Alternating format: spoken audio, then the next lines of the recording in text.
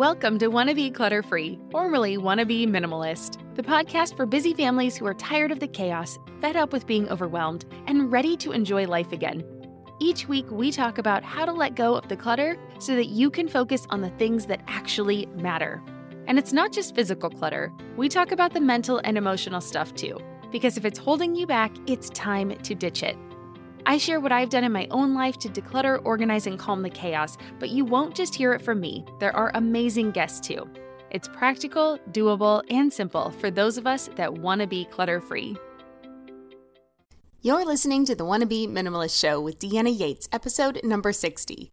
On today's show, we are exploring seven physical and seven mental benefits of decluttering and why it's so important for busy families. In fact, I would go so far to say as it's a must for all moms. Time and time again, I hear from overwhelmed families, moms in particular, who tell me that they are exhausted, burnt out, and stretched too thin. My first piece of advice is always to get your home and life decluttered. So if you're feeling overwhelmed, exhausted, or burnt out, or stretched too thin, then listen on to find out why decluttering is the first step and to discover the 14 benefits that will make you want to declutter right now. Hey there, my wannabe minimalist friend. Welcome back to the show. My name is Deanna Yates, and I am the creator of LittleGreenBow.com and the host of this podcast, The Wannabe Minimalist Show. If you're new to the show, then welcome. I'm thrilled to be on this journey with you. On this show, I discuss topics ranging from decluttering and organizing to simple living and creating better mindsets around minimalism. And for the purpose of this show, my website, courses, and my personal life, I define minimalism as intentional living. It's all about living by design and not by default. Go ahead and keep the items that mean the most to you and let go of the things holding you back from the life you truly want to be living. My mission in life is to help you do just that. So, today we're exploring seven physical and seven mental benefits of decluttering and why it's the number one step in taking back control of your life and home so you can overcome the overwhelm of raising a family and trying to do all the things. Because let's be honest with ourselves, clutter makes us a bit crazy. When we look around our homes and there is stuff everywhere, it's impossible to relax. There's a pile in the living room to deal with, laundry to fold and put away, the kitchen counters loaded up with stuff, and all of this exterior clutter, it adds a whole lot of mental clutter too. And that's just the tip of the iceberg when it comes to decluttering and why it's a must for families, you know, moms especially. Before we dive in, though, I want to remind you that you can find all of the show notes for today and links to anything I mention at littlegreenbow.com forward slash 60. Again, that's littlegreenbow.com forward slash the number 60. And I actually have a lot of reference points today, so it's really something you're going to want to check out. And there I will also have my latest free resource. It is the Tidy Home and Vibrant Life Starter Guide, and people have really enjoyed this free download. It is a simple but super helpful guide that will show you four easy steps that you can take to create a home and life where you and your family thrive. It is completely free, and it's my way of helping you on your journey to creating more meaning in your life without suffocating under your stuff.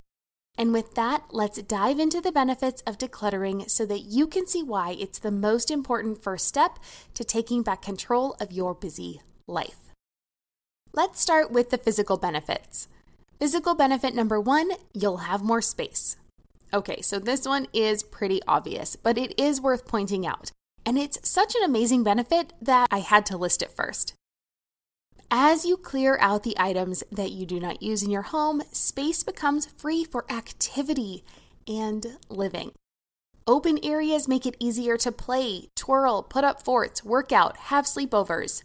I know I'm focusing on kids a lot with these examples, but so many of my listeners have told me that toys and kids' clutter are some of their biggest problem areas. So instead of buying the latest toys, perhaps you can remember this number one benefit of having less stuff and resist the urge next time. Create that space to let your kids' imaginations run wild and create within that free and open space. And it's not just the kids who benefit from having this open area. More space means that you have room to spread out to. I love that I have room in my bedroom where I can stretch in the morning when I wake up or before going to bed. If I had an extra chair in there or a bench at the end of my bed, I wouldn't have that free area and I that I really love and I, you know, I would have a piece of furniture that I don't really need in that area instead. And this is just the beginning. There are 13 more benefits we're covering today when it comes to less clutter. So let's move on. Physical benefit number two your health may improve. Clutter makes it more difficult to clean, so it can actually worsen respiratory problems, such as asthma. Cluttered homes not only allow for the buildup of dust and dirt, but pet hair and mold can be an issue too. If you suffer from allergies, these things can be a disaster to your health, and the longer you remain exposed can eventually cause chronic illness. You may not even realize you're suffering from the effects of these allergens until you clean out your environment. The more dust, dirt, pet dander, and mold that remains in your home, the harder it is for your respiratory system to function optimally. Once you declutter, you'll be able to dust and clean your home more easily because, let's be honest, it is much simpler to wipe off a clear shelf or the bathroom counter when there's nothing on it instead of working around a bunch of little things and moving everything off that flat surface first. And when it's easier, you'll actually do it more, and that will help you breathe a whole lot easier, both physically and mentally. Physical benefit number three less clutter equals less stress. While decluttering will not cure anxiety disorders, clearing away clutter can help ease some of the stress felt in the home. According to Brenna Renn, PhD, a licensed clinical psychologist and acting assistant professor at the Department of Psychiatry and Behavioral Sciences at the University of Washington, decluttering really makes you feel more content. I'll link to the article in the show notes, but she states, and I quote, People with anxiety are already hypervigilant to any sort of stress response. Their stress alarm is already dialed up. Anything like clutter or anything disruptive in their environment could be one more thing that tips the scales for them. End quote. So, if you feel stressed out all the time, having a neat and tidy home could actually lower those stress levels, since constantly being around a mess can serve as a source of chronic stress. Physical benefit number four decluttering improves how your digestive system functions. So, this one may be surprising, but clearing out clutter can help improve sy- symptoms like bloating, reflux, poor digestion, and inflammation. This can be attributed to the gut brain connection because as your stress levels decrease through your space being less cluttered, your body has more energy and less oxidative stress. It may sound a bit out there, but an article from Healthline states, and I quote, high stress levels can have harmful effects on the body. In the gut, stress can increase sensitivity, reduce blood flow, and alter the gut bacteria. End quote. This leads to things like bloating, poor digestion, gas, and reflux. All things that I think I can confidently say we would all be happy to keep out of our lives. Physical benefit number five decluttering can help you lose weight. Sounds pretty amazing, right? Well, we just talked about how clutter causes your stress levels to rise, and that can create issues with your digestive system. So it's not hard to see how having a cluttered home contributes to weight gain. If your kitchen is cluttered, it's harder to cook healthier meals at home, and food may go to waste in your refrigerator if it's stuffed full. And if stress causes you to eat more, like it does with me, well, then decluttering will definitely make an impact. Quote, there is a link between mess increased stress and weight gain, end quote, says author Peter Walsh as he writes about in his book, Lose the Clutter, Lose the Weight, the six week total life slim down. Now, the results in the book may be mostly anecdotal, but the book highlights stories of amazing weight loss and how dealing with clutter in their lives and homes decreased stress levels and gave the people a space to relax on the weekends. It enabled them to make healthier choices. It gave them time to dedicate to their health again. And you know, all of these are really beneficial things because as we get too busy, we don't eat as healthy. You know, if we're stressed out, the cortisol levels rise and that causes us to gain weight, gain weight as well. You know, it really does make sense. And I'll go ahead and link to that book, um, The Lose the Clutter, Lose the Weight. Um, if you're interested in checking it out, you'll find that in the show notes as well.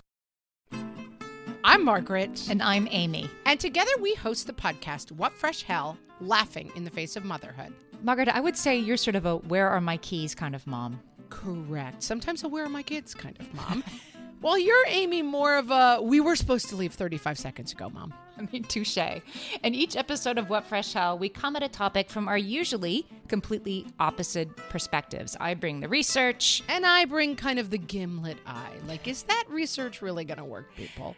And almost 10 million downloads later, we're still laughing. We also talk to experts in the parenting field, plus parents with stories we can all learn from. We make each other laugh, we challenge each other's assumptions, and we have what we think is the best parenting community on the internet. Check out What Fresh Hell Laughing in the Face of Motherhood wherever you listen to podcasts.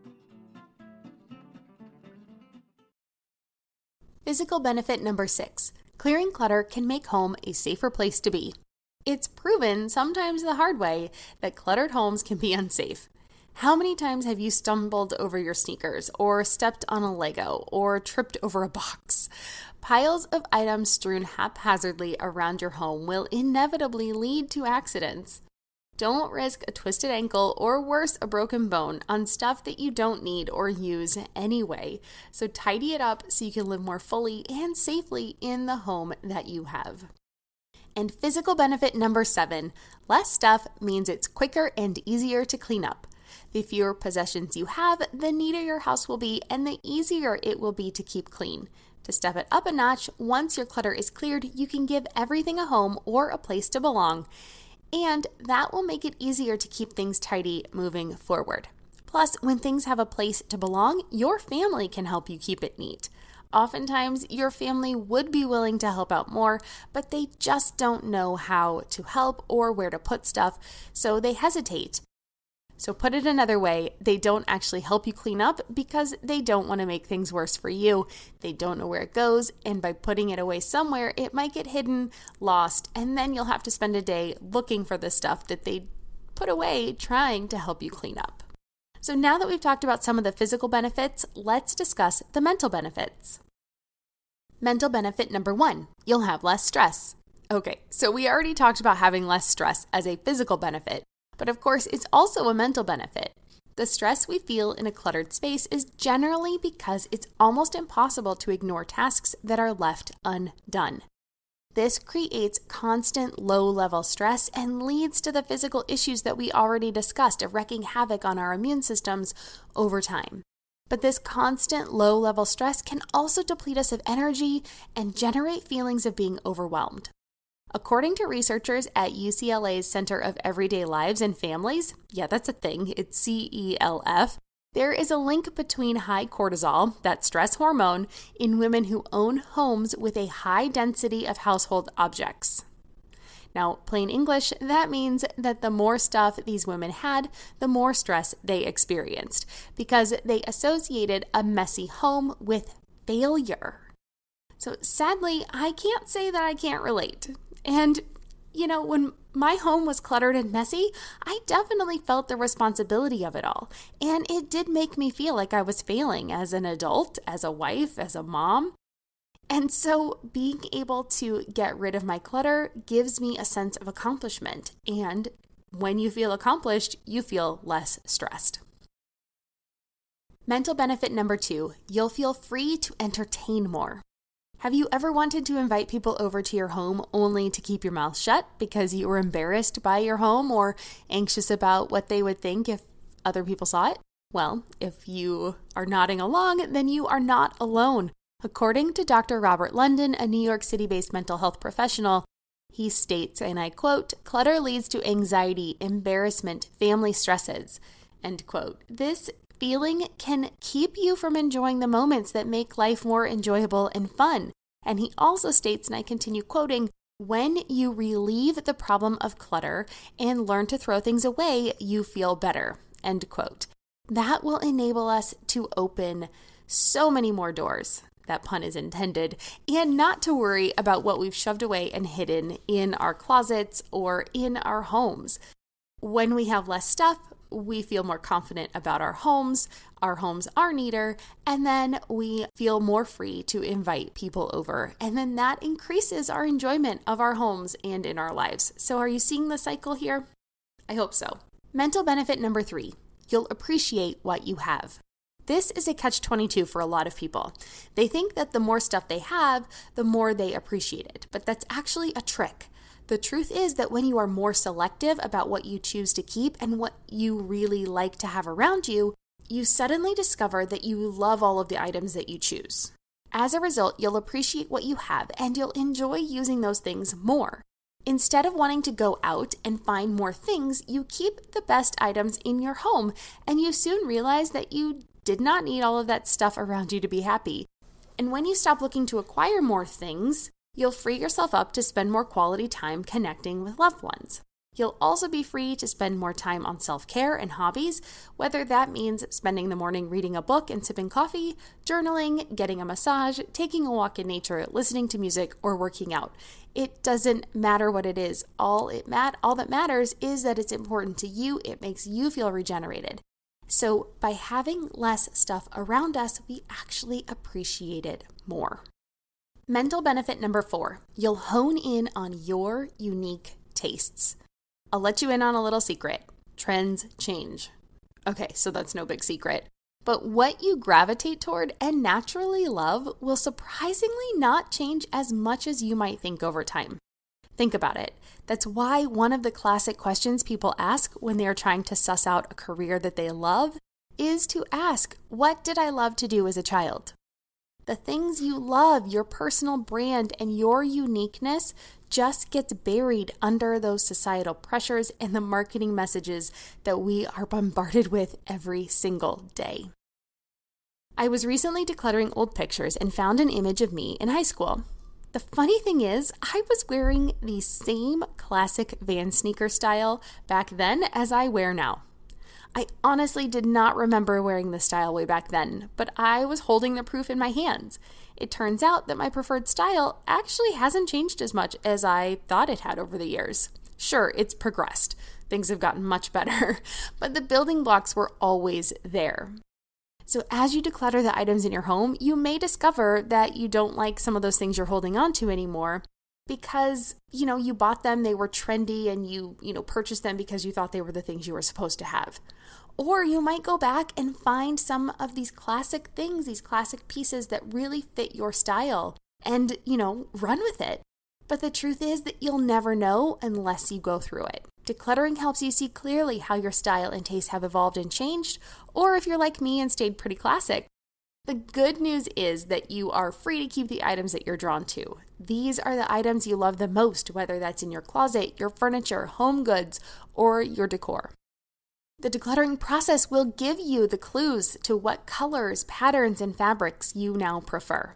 Once you understand what you like, you'll naturally become more decisive and you'll waste little time selecting what you need or want in the future. This has been a game changer for me when shopping. I can now tell in an instant if something will fit with my home or in my wardrobe, and if it doesn't, it's an automatic and easy no which makes it so much easier to keep my home less cluttered because I'm able to keep out a lot of the things before they even come into our home and become a problem. Mental benefit number five is you'll enjoy cleaning. That's right, you'll enjoy cleaning more. Maybe it still won't be your favorite thing to do, but the reason we hate cleaning so much when our home is cluttered is because one, we don't know where to start, Two, it takes so much prep work to clean anything. And three, we know it won't make much of a difference because things will still feel messy even if they're no longer dirty. But as you clear out the stuff, that all that extra stuff from your home, cleaning gets easier because there's less to do. You won't have to tidy up first, or if you do, it can com- be completed in minutes instead of hours. And when you clean, things will remain cleaner for longer because there are fewer places for dust, dander, and dirt to gather. Plus, it's easier to clean a smooth surface when it's uncluttered than it is to clean the nooks and crannies and all those little items you have stuffed and crumpled into corners and closets. We already talked about that as a physical benefit, but mentally, you will enjoy the cleaning process more. I know it's a shocker for me too because I absolutely hate cleaning, but when it's easier, I do enjoy it more. Mental benefit number six decluttering the home leads to a decluttered mind. When our homes are a mess, Our minds are a mess, and this is the premise behind Gretchen Rubin's book, Outer Order Inner Calm. You may remember her name from her breakout success, The Happiness Project. And if you haven't read either book, I highly recommend them both, and we'll leave links in the show notes so you can pick them up. And to keep the clutter down, go ahead and opt for the Kindle, Nook, or the e reader version. But I completely agree with her reasoning that when we feel unorganized and our home feels chaotic, it becomes so much more difficult for us to find what we need, focus on the important things in our life, and give ourselves the much needed space to breathe, live, and just be in our homes. As we let go of these extra items, think things we don't actually use, we can free up our space and our minds to focus on the things that mean the most to us. Maybe that's spending more quality time with your family instead of always feeling like you're cleaning up after them, or taking some time for self care or catching up with your friends.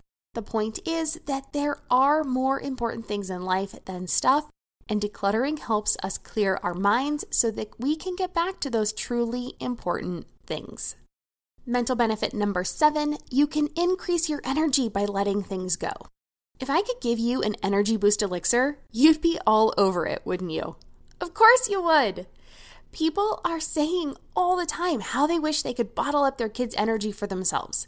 I'm constantly hearing from busy parents, and moms especially, about how tired they are all the time. They are so busy that they claim they do not have time to declutter. I totally understand where they're coming from, but here's the thing. Clutter in the home makes us tired.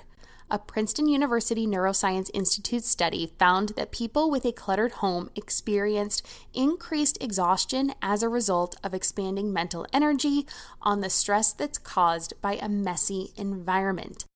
In that same study, researchers explained that being aware of and annoyed by your existing clutter will have a negative impact on your mental state, thus increasing your levels of frustration, which may lead you to make decisions you would not normally make with a clear head.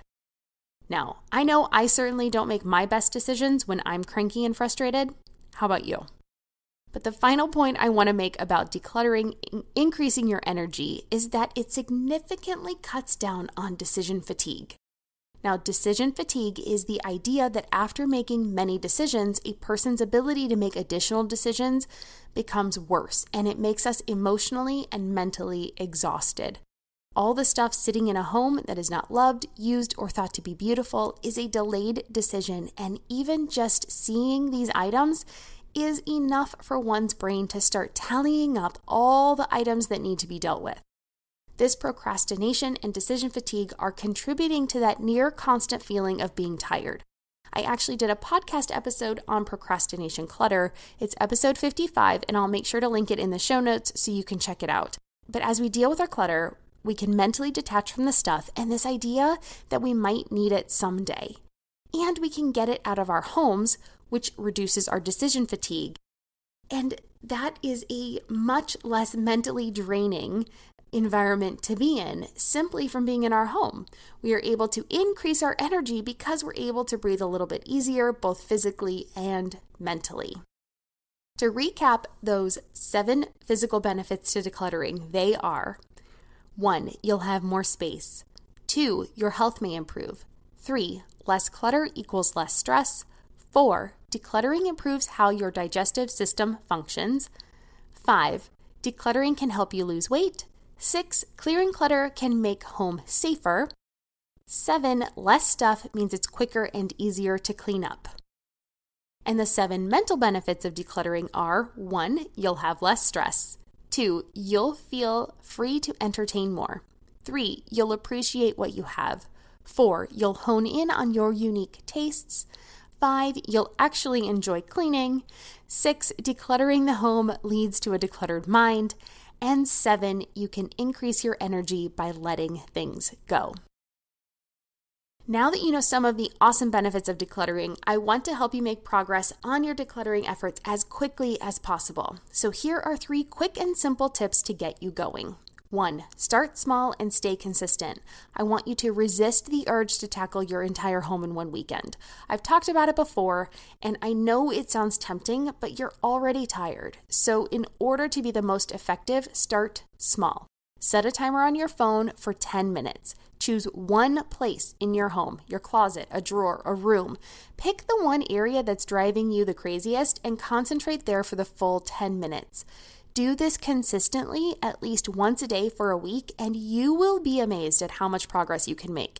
In fact, take a before picture so you can see for yourself because you will not believe it. And then I want you to share it with me please, if you are comfortable doing it and if you're brave enough, I want you to tag me on Instagram or share it in the Wannabe Minimalist group on Facebook. Come on over again, it's a free group. But I want to be able to encourage you and just show you what is possible when you put your efforts in the right area. So that's number one. Number two is don't think too much about it. So many times we keep things because we might need it someday. But it's time to stop living for the someday and to start living for your current life. I want you to live your current life to the fullest. If you need more help with this, check out episode 59 of this podcast. I'll link it in the show notes. I want you to make a rule for yourself that if you have not used something in a year or whatever time period you set, it can be longer, it can be shorter, a year generally tends to be a good amount of time, and especially in this last year, if you haven't used it, you probably don't need it because we were all using as much as we could and as creatively as we could in our homes. So if you haven't used it or you've even forgot that you had it, I want you to make the decision that that is your rule and you will donate it. Because setting this rule helps combat that decision fatigue that I discussed earlier and it makes it so much easier. So make the rule and stick to it.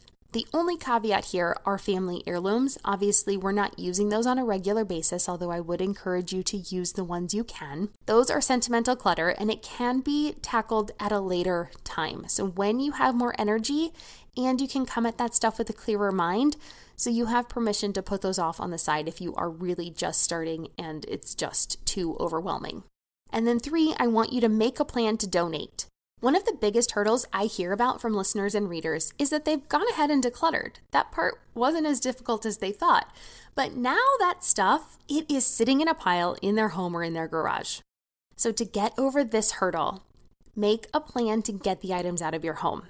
The truth is, you will not get to realize any of these 14 benefits we talked about today if the stuff does not actually leave your home. If it's your garage, that doesn't count it doesn't, it has to leave, physically leave any of the property that you live in. So I want you to find a place that is near you and plan for a weekly stop as part of your regular errands. The less you have to think about it, the more likely it will happen. Or you can do what one of my community members does, and she puts all of the stuff on the curb with an ad in the free section on her local Craigslist. You could also do this with the local Buy Nothing group on Facebook, or if you're part of Nextdoor, that would work too. She loves that it's hassle free for her, and that's what keeps her decluttering and going after the vibrant life that she truly wants to be living. So it's all about finding the right way to donate that makes sense for you, but you have to make a plan to get it out of your home. And those are the three ways that you can start decluttering right now. I hope you liked today's episode, and if you'd like to continue the conversation, I invite you to come on over and share it in the Wannabe Minimalist community on Facebook. The group, like I said, is completely free, and the conversations over there are really great. I'd love to hear if today's episode and these seven physical and seven mental benefits inspired you to start decluttering. Come on over and tell me about it in that Wannabe Minimalist community. I'm excited to hear from you and offer encouragement on your journey towards less stuff, more happiness, and a vibrant life that you and your family deserve. And don't forget if you would like to get your free copy of the Tidy Home and Vibrant Life Starter Guide, which will help jumpstart your efforts, you can grab it and all of the show notes for today's episode at littlegreenbow.com slash 60. Once again, you can get the show notes for today on my website at littlegreenbow.com forward slash the number 60. The Tidy Home and Vibrant Life Starter Guide is a simple but super helpful guide that will show you four easy steps you can take to create a home and life where you and your family thrive. Yes, it talks about decluttering, but that is just part of what you will find inside. It's completely free and my way of helping you on your journey to creating more meaning in your life without suffocating under your stuff. That just about wraps it up for today's episode. But before I go, I do want to take a minute to say thank you for listening to this podcast. I appreciate that you choose to spend some of your time with me, and I hope that the information I provide is helpful and inspiring. And if you have anything you would love for me to cover and discuss, please feel free to reach out. I'd love to hear from you. You can let me know how else I can serve you and the topics that you find most helpful. Feel free to tag me on your Instagram stories. I'm little.green.bow on the platform. Please don't forget the dots. Or you can email me at deanna at littlegreenbow.com. And if you enjoyed today's episode and have not done so already, please be sure to subscribe to be notified of new episodes wherever you prefer to listen to podcasts. And if you feel so inspired, I would love your help to spread the word. If you could leave a review so that more people can find us and discover the benefits of a minimalist lifestyle, I would really appreciate it. Oh, and one final note I do want to let you know that I will be coming to you every other week in the summer. I'm really trying to live my most vibrant life as well. I do like to practice what I preach, and I want to spend some of this quality time with my daughter before she gets to go back to in person school. So we're having a lot of fun this summer which does take up a lot of my time, and it means that I will be coming to you with a new episode every other week. All right, cheers. See you in two weeks.